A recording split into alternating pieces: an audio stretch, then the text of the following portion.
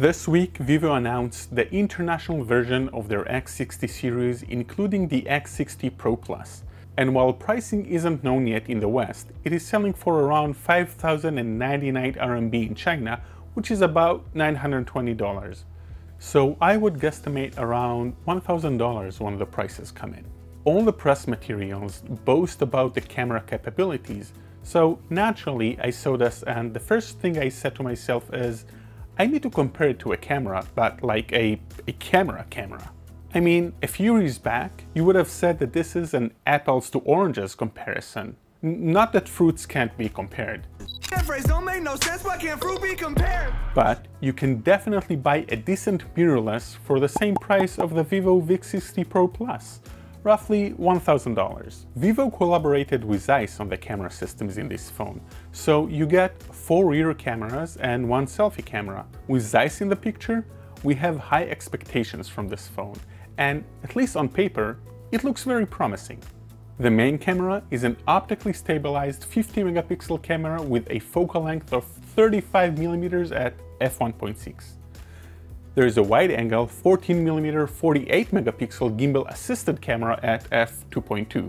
Then there are two smaller cameras, a 32 megapixel portrait camera at 46mm and f1.6, and an 8 megapixel periscope camera at 115mm. Consider this a 5x optical zoom lens. The last camera is the selfie camera, and it's a 32 megapixel camera at 24mm with an aperture of f2.4. Since this is such an impressive setup, I thought I'd take it outside and see how it compares with a modern mirrorless camera, the Sony a7 III. To make this a fair fight, we are not going to use any fancy gear, just a standard Zeiss 2470 f4 lens, so Zeiss versus Zeiss, this is fair, right? Now, this isn't a tech review channel, and plenty of people have already dug into the specs of the phone, like TechNick, which I'll link to here. But I do want to talk about the ergonomics, because when you're shooting, it can make a difference. The phone fits nicely to my hands, but maybe a bit too big for smaller hands. On the back, you will find the lens array in a rectangular bevel, the good thing about this arrangement is that it's hard to accidentally touch the lens and leave fingerprints. The bad thing is that the phone never lies flat on its back. Well, I don't know how much to really care about this though.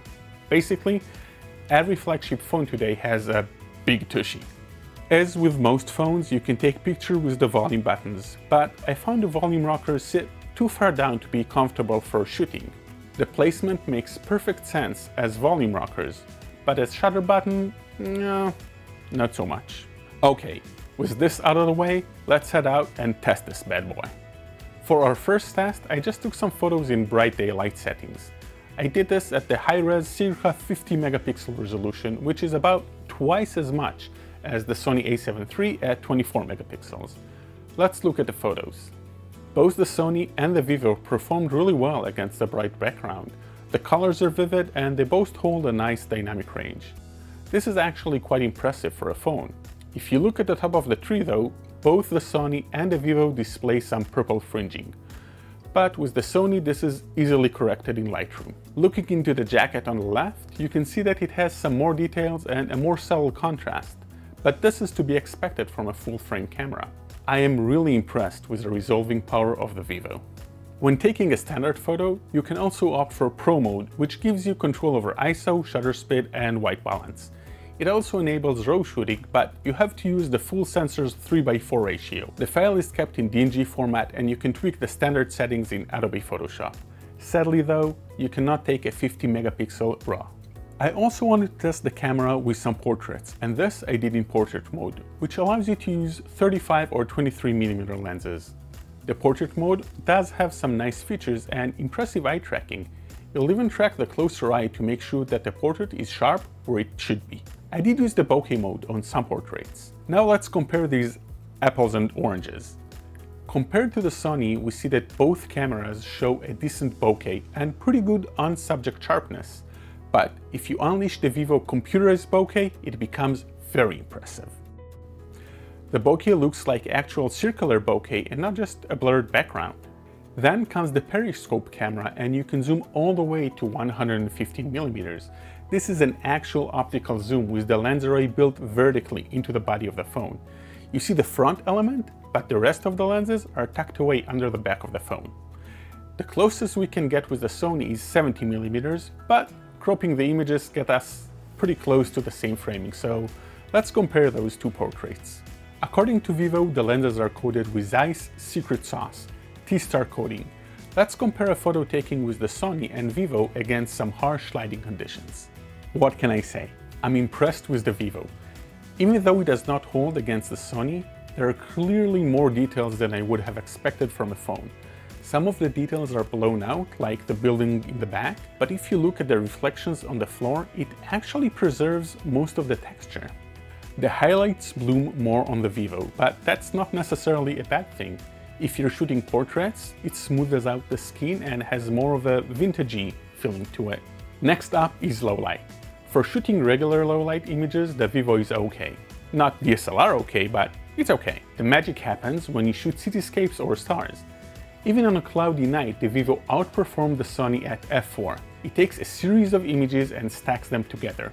It accounts for star rotation and even cloud movement to create a pretty impressive photo. It could even find stars that we were not able to see with our naked eyes. Back in the studio, we wanted to compare the phone's macro capabilities with a real macro lens, the Laowa 100 Macro. You can check out that review up top and I'll leave it in the description below as well. I was blown away. This little phone gives a macro lens a run for its money. It gets insanely close and looks awesome. Let's talk about the video. One of the most attractive features about the video here is that the Vivo is capable of shooting 8K videos. While the resolution here is impressive, the quality of 8K is nothing to write home about. It feels more like a marketing gimmick than something you would actually use. I'm not really sure though what situation would demand shooting 8K with your phone. Let's talk slow-mo. The Sony takes the lead here. The Vivo does shoot decently slowed down videos, but there is some form of compression going on and it looks far less impressive than the regular video. This is very noticeable when you compare the slow motion footage to the Sony filming at 100 fps at 100 megabits. The Vivo is also capable of shooting with the newer H.265 codec, which saves about half the size of the file. Here are two 10 seconds videos with each of the codecs. The Vivo only comes with 128 or 256 gigs of internal memory, so small file sizes do have their advantages. An interesting feature for the Vivo is that it has a built-in gimbal on the wide-angle camera. The Sony, on the other hand, has an internal IBIS. Let's see how the two compare for a short walking video. The stabilization on the Vivo knocks the Sony right out of the park. For the more technical among you, I also compare the rolling shutter effect or the jello effect on both cameras. What can I say? The Vivo is a phone and the Sony has never been known for controlling rolling shutter. Lastly, I wanted to check the video under low light. Here is what we got with the Sony at 1080. When you compare it to the Vivo, well, to be honest, this isn't really a fair comparison. Sony is known for its low light capabilities and we're shooting this at ISO 8000. I would say that the Vivo is okay for sharing with the family, but not really usable beyond that. It's not surprising that the Sony is outperforming the Vivo. It is more expensive and let's be honest, it's a device built specifically for photography. The most surprising thing here is actually that the Vivo is even in the running. We're at a point in time where it actually makes sense to take a phone and a camera and expect the phone to even compete. And the best thing about the Vivo is that it's small enough to fit in your pocket. So that's it. If you like this video, share, like, and subscribe. I'm Udi Tirosh from DIYphotography.net and I'll be seeing you around.